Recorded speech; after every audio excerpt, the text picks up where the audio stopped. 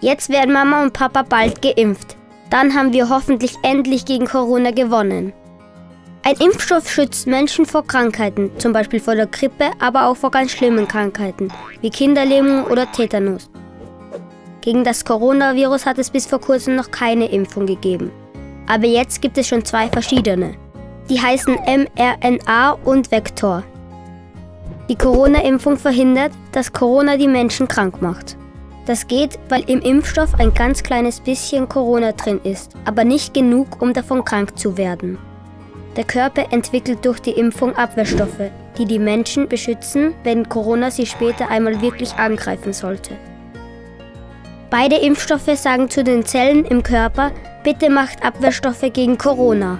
Der Unterschied ist nur, wie sie das den Zellen sagen.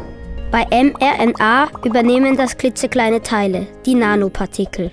Und beim Vektor wird ein winziges Stück vom Coronavirus von einem anderen, ungefährlichen Virus Huckepack genommen und in den Körper getragen. Egal welchen Impfstoff wir verwenden, das Wichtigste ist, wir sind vor Corona sicher. Zuerst sollen die Leute drankommen, für die Corona gefährlicher ist als für andere. Das sind ältere Menschen wie Oma und Opa oder kranke Menschen. Auch Leute, die im Krankenhaus arbeiten, gehören dazu. Für Kinder gibt es noch keinen Impfstoff. Aber vielleicht ändert sich das ja bald.